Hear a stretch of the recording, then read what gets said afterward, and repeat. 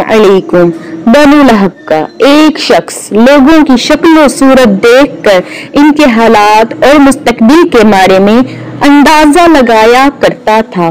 तो अबू तालिब, आप सल्लल्लाहु अलैहि वसल्लम को भी इसके पास ले गए। इस वक्त आप सल्लल्लाहु अलैहि वसल्लम अभी नौ उम्र लड़के ही थे।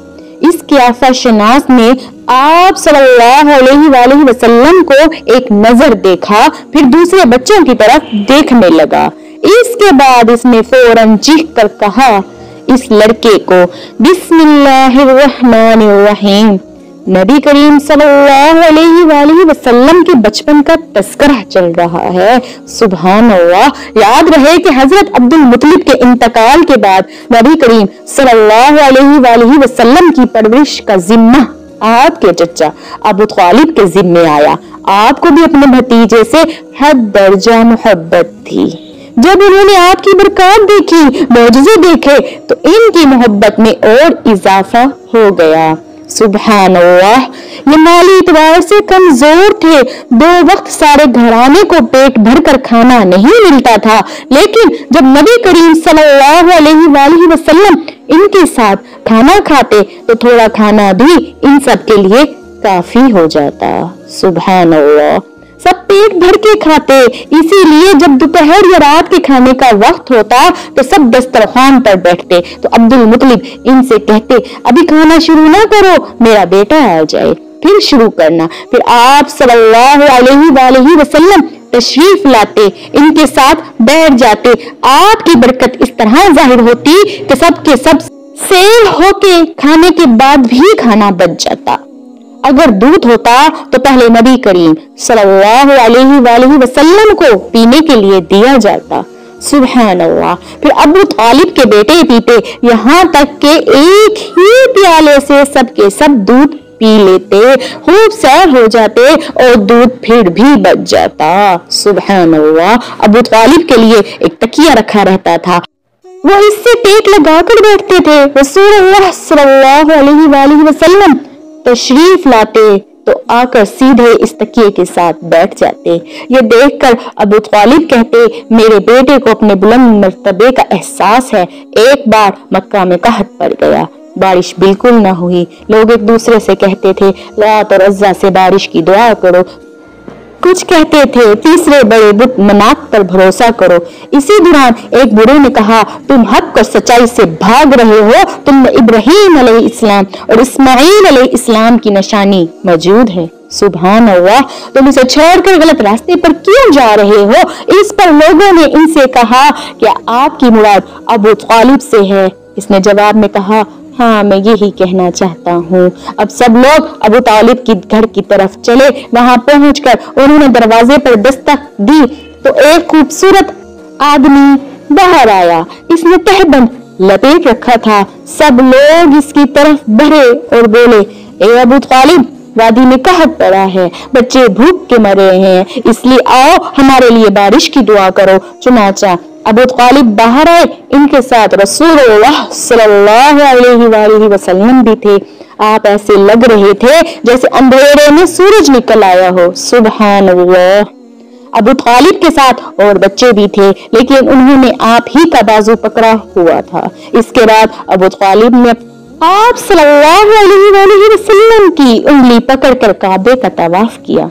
ये तवाफ कर रहे थे और दूसरे लोग आसमां की तरफ़ नज़र उठा उठा कर देख रहे थे, जहाँ बादल का एक टुकड़ा भी नहीं था। लेकिन फिर अचानक हर तरफ़ से बादल घिर घर आने लगे। इस कदर जोरदार बारिश हुई कि शहर और जंगल सैराब हो गए। नाजरीन, रिवायत में आता है कि अबू तालिब एक बार जिल के मेले में गए थे। ये जगह अरफात से तकरीबन आठ किलोमीटर दूर है। इनके साथ रसूल वसल्लम भी थे। ऐसे में अबू तालिब को प्यास महसूस हुई। उन्होंने आप वसल्लम से कहा भतीजे मुझे प्यास लगी है। ये बात उन्होंने इसलिए नहीं कही थी कि आप वसल्लम के पास पानी था, बल्कि अपनी बेचैनी ज़ाहिर करने के लिए कही थी। चचा की बात सुनकर आप सल्लल्लाहु अलैहि वसल्लम फ़ौरन सवारी से उतरे और बोले, चचा जान, आपको प्यास लगी है? उन्होंने कहा हाँ भतीजे, प्यास लगी है। ये सुनते ही आप सल्लल्लाहु अलैहि वसल्लम ने एक पत्थर पर अपना पाँव मारा। जो ही आप सल्लल्लाहु अलैहि वसल्लम ने पत्थर पर पाँव मारा, इसके नीचे से साफ़ और उमदा पानी फूट निकला। उन्होंने ऐसा पानी पहले कभी नहीं पिया था।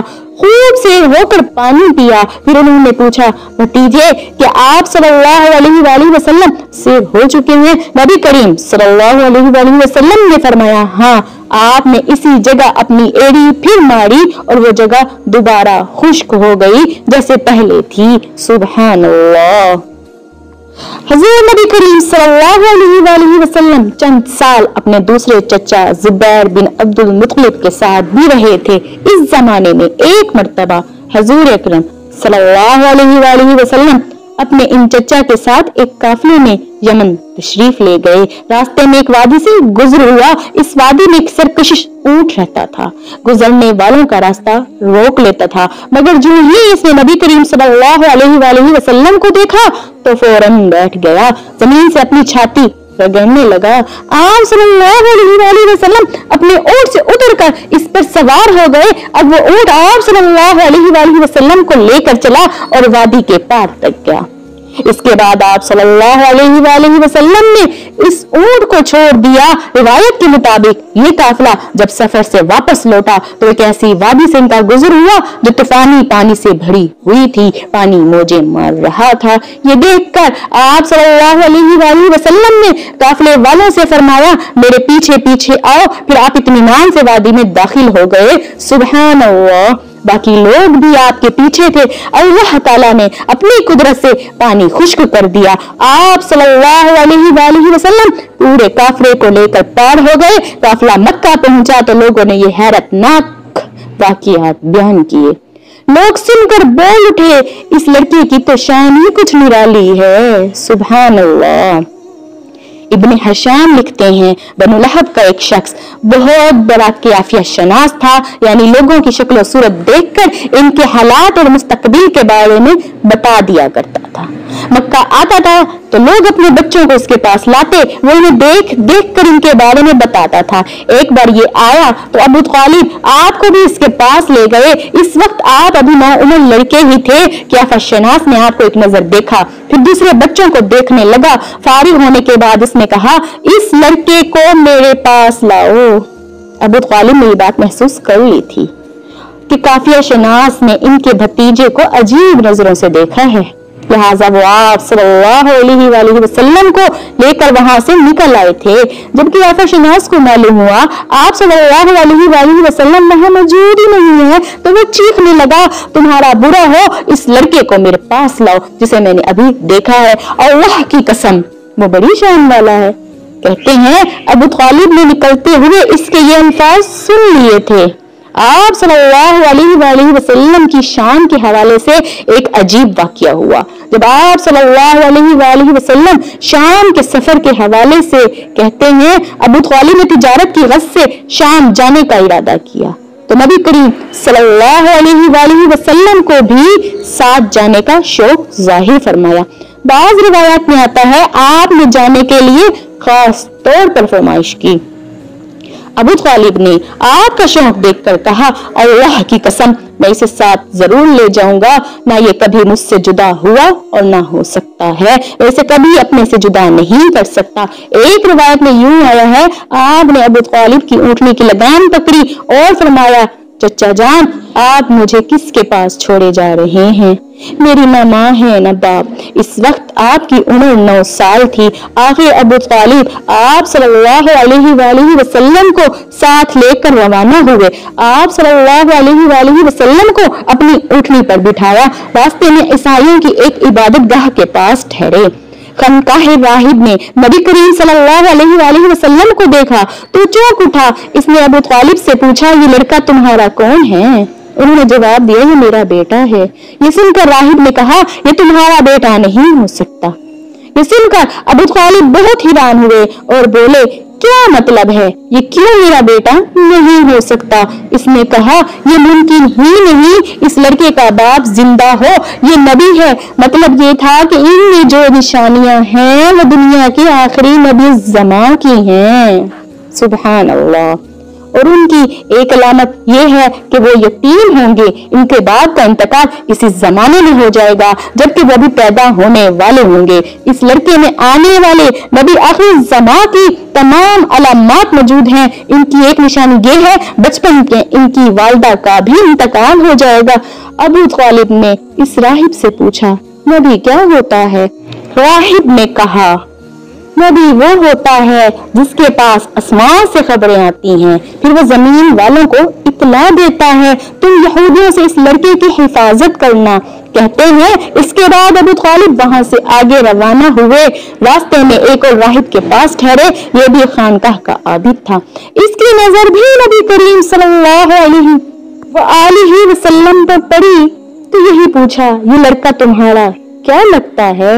सुबहान अल्लाह अबू तालिब ने इससे भी यही कहा, ये मेरा बेटा है। राहिब ये सुनकर बोला कि तुम्हारा बेटा नहीं हो सकता, इसका बाप ज़िंदा हो ही नहीं सकता।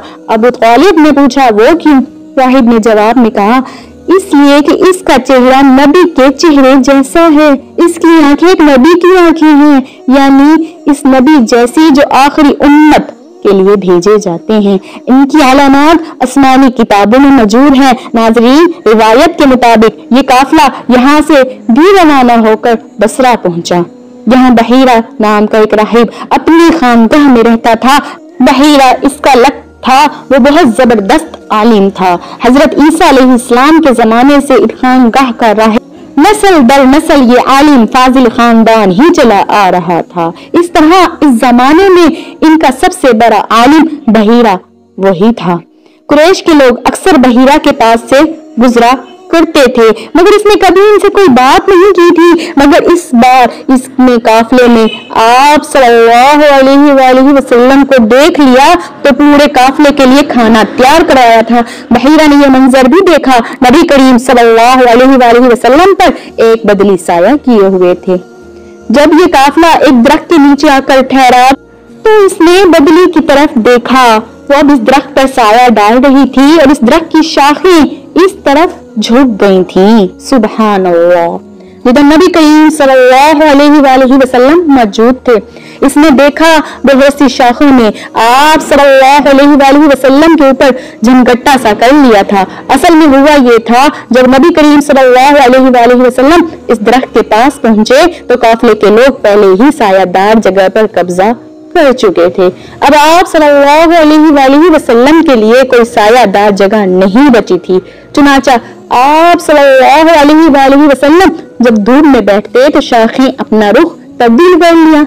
आपके ऊपर जमा हो गई। सुबहान इस तरह आप सल्लल्लाहु वसल्लम मुकम्मल तौर पर साय में हो गए। बहीरा ने जब ये मंजर साफ़ देखा था, आपकी ये निशानी देखकर इसने काफले वालों को पैगाम भिजवाया, ए कुरेशियो, मैंने आप लोगों के लिए खाना तैयार करवाया। मेरी ख्वाहिश है, आप तमाम लोग खाना खाने आए, यानी बच्चे, बूढ़े और गुलाम सब आए। बहीरा का ये पैगाम सुनकर काफले में से एक ने कहा, ए बहीरा आज तो आपने नया काम कर रहे हैं। हम तो अक्सर इस रास्ते से गुजरते हैं।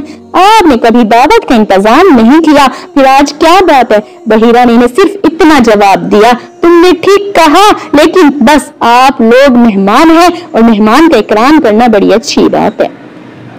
इस तरह तमाम लोग बहीरा के पास पहुँच गए। लेकिन अल्लाह के रसूल सल्लल्लाहु अलैहि वसल्लम इनके साथ न गए। इन्हीं तरह ही छोड़ दिया गया। आपको काफले के साथ इसलिए नहीं लेके जाया गया था कि आप कम उम्र थे। आप सल्लल्लाहु अलैहि वसल्लम वहीं दरख्त के नीचे बैठ गए, उधर बहीरा ने लोगों को देखा। इनमें से किसी में इसे वो सिफ्त नज़र ना आई जो आखिरी नबी सल्लल्लाहु अलैहि वसल्लम के बारे में इसे मालूम थी। न इनमें से कोई बदली नज़र आई, बल्कि इसने अजब बात देखी कि वो बदली वहीं ठहरी हुई है, यानी अपनी जगह पर ही रुकी हुई है। इसका साफ़ मतलब था, ये बदली वहीं है जहाँ अल्लाह के रसूल सल्लल्लाहु अलैहि वसल्लम है। सुबहान अल्लाह तब इसने कहा, ए कुरेश के लोगों, मेरी दावत से आप में से किसी से भी कोई पीछे तो नहीं रह गया? इस पर कुरेश ने कहा, ए बहिरा, जिन लोगों को आप कि इस दावत में लाना ज़रूरी था, इनमें से तो कोई रहा नहीं। हाँ एक लड़का रह गया है जो सबसे कम उम्र है। बहिरा बोला, तुम फिर मेहरबानी फरमाकर इसे भी बुला लें। ये किस कदर बुरी बात है कि आप सब आए और आप में से एक रह जाए। और मैंने इसे आप लोगों के साथ देखा था।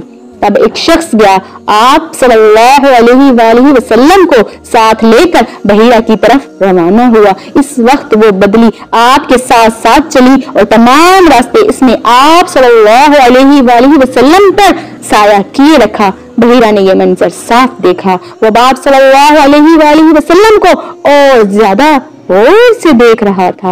आप सल्लल्लाहु अलैहि वसल्लम के जिस्म मुबारक पर वो अलामत तलाश कर रहा था, जो उनकी कुतुब में दर्ज थी। जब लोग खाना खा चुके और इधर उधर हो गए, तब बहीरा आपके पास आया और बोला, मैं लात और उज्जा के नाम पर आप सल्लल्लाहु अलैहि वसल्लम से चंद बातें पूछना चाहता हूँ।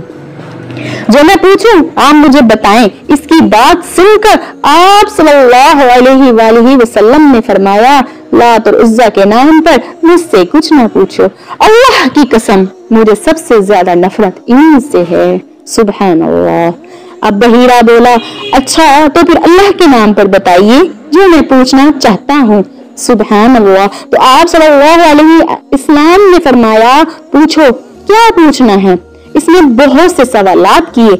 आपकी आदात के बारे में पूछा। इसके बाद इसने आप सल्लल्लाहु अलैहि वसल्लम की कमर पर से कपड़ा हटाकर मोहर नबूवत को देखा। सुबह वो वैसी ही थी जैसा कि इसने अपनी किताबों में पढ़ा था। इसने फ़ौरन मोहर नबूवत की जगह को बोसा दिया। कुरेश के लोग ये सब देख रहे थे। सुबहान अल्लाह और हैरान हो रहे थे। आखिर लोग कहे बगैर न रह सके, ये राहिब हज़रत मोहम्मद सल्लल्लाहु अलैहि वसल्लम में बहुत दिलचस्पी ले रहा है। शायद इसके नज़दीक इनका मर्तबा बहुत बुलंद है। उधर नबी करीम सल्लल्लाहु अलैहि वसल्लम से बातचीत करने के बाद बहीरा अबू तालिब के पास आया। और बोला, ये लड़का तुम्हारा क्या लगता है? अबू तालिब ने कहा, ये मेरा बेटा है। इस पर बहीरा ने कहा, नहीं, ये तुम्हारा बेटा नहीं हो सकता। ये नहीं हो सकता कि इसका बाप ज़िंदा हो। अबू तालिब को ये सुनकर हैरत हुई। फिर उन्होंने कहा, दरअसल ये मेरे भाई का बेटा है। इनका बाप कहाँ है? वो फौत हो चुका है। इसके इंतकाल इस वक्त हो गया था। जब यदि पैदा ही नहीं हुए थे, ये सुनकर बहीरा बोल उठा हाँ ये बात सही है। इनकी वालदा का क्या हुआ? इनका भी तो अभी थोड़ा अर्सा पहले ही इंतकाल हुआ है। ये सुनते ही बहीरा ने कहा हाँ बिल्कुल ठीक कहा। अब तुम यूँ करो, अपने भतीजे को वापस वतन ले जाओ। यहूदियों से इनकी पूरी तरह हिफाजत करना। अगर इन्होंने देख लिया, इनने वो निशानियाँ देख ली जो मैंने देखी है तो वो इन्हें कत्ल करने की कोशिश करेंगे। तुम्हारा ये भतीजा नबी आखिरी जमा है। सुबह अल्लाह इसकी बहुत शान है। इनकी शान के बारे में हम अपनी किताबों में भी लिखा पाते हैं और हमने अपने बाप दादा से भी बहुत कुछ सुन रखा है। मैंने ये नसीहत करके अपना फ़र्ज़ पूरा कर दिया। अब इन्हें वापस ले जाओ, तुम्हारी ज़िम्मेदारी है। अबू खालिद बहीरा की बातें सुनकर खौफ जदा हो गए। आप सल्लल्लाहु अलैहि वसल्लम को लेकर वापस मक्का पहुँचे। इस वाक्य के वक्त आपकी उम्र नौ साल थी। अल्लाह ताला हमें दीन की मुकम्मल समझ अता फरमाए और हमें नेकोकारों में शामिल करे आमीन। हज़रत मोहम्मद सल्लल्लाहु अलैहि वसल्लम, दोस्तों, बचपन ही से बहुत ज़्यादा बरकत के हामिल थे। आप सल्लल्लाहु अलैहि वसल्लम पर हर वक्त अल्लाह की खास रहमत बरसती थी। दोस्तों, नबी करीम सल्लल्लाहु अलैहि वसल्लम को उनके मोजात की वजह से और उनकी बरकत की वजह से लोग उनके बचपन में ही पहचान लेते। उन पर जो अल्लाह की खास रहमत थी, यहूदी राहिब उसको देख लेते और फिर आप सल्लल्लाहु अलैहि वसल्लम की तरफ़ मुतवजा होते। अल्लाह पाक हमें भी दीन मोहम्मदिया पर चलने की तोफीक दे ताकि हम अपने नबी की सब सुन्नतों को अदा कर सके, जैसा कि उनको अदा करने का हक है। नबी पाक सल्लल्लाहु अलैहि वसल्लम की एक सुन्नत को अदा करने से हमें सौ शहीदों का सवाब मिलता है। सुबह अल्लाह देखें दोस्तों, अगर हम एक सुन्नत अदा करते हैं, हमें सौ शहीदों का सवाब मिलता है तो सोचें, जब हम अपनी पूरी ज़िंदगी शरीयत मोहम्मदिया सल्लल्लाहु अलैहि वसल्लम के मुताबिक गुजारेंगे तो हमें कितना सवाब होगा, अल्लाह की कितनी रहमत हम पर नाजिल होगी और हम दुनिया में भी कामयाब होंगे और आखिरत में नबी की शफात से मुस्तफीद होंगे इनशा आमीन। दोस्तों, अगर आपको ये वीडियो अच्छी लगी हो तो चैनल को सब्सक्राइब करके कमेंट में ज़रूर बताइएगा। जजाकल्ला